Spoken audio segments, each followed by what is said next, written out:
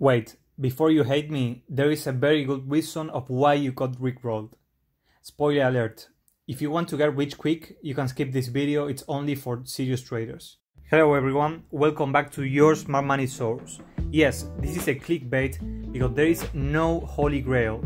There are no shortcuts in trading and I want to save you from making a costly mistake. It is impending to leave this thought behind. This doesn't mean you won't make it. On the contrary, if you delete the idea of holy grail and getting rich quickly, your mindset will automatically switch to a profitable way of thinking. Think about it. 95% of people lose money in Forex. So, wouldn't it be a smart idea if we identify why this happens and try to avoid doing the same? Maybe you might get profitable, right? Well, stay until the end and hear what I got to say. People who lose money in Forex don't have a profitable strategy.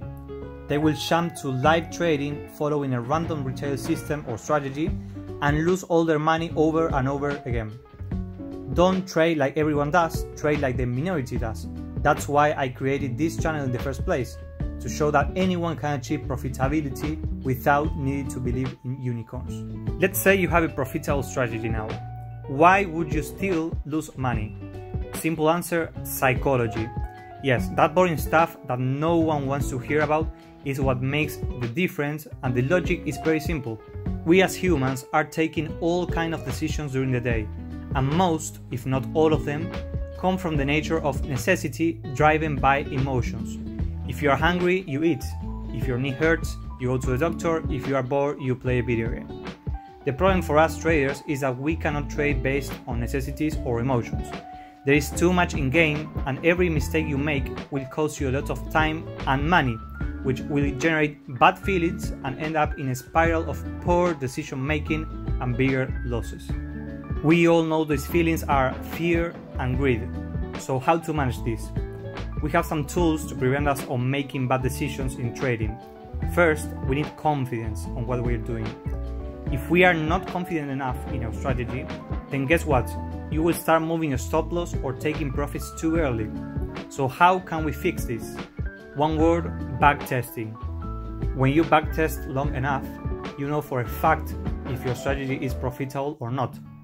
And if it is, then you have certainty that you can execute your trades like a robot and make money you won't even think of moving the stop loss or the take profit because you already know that even if you get stopped, you will still be profitable on the long run.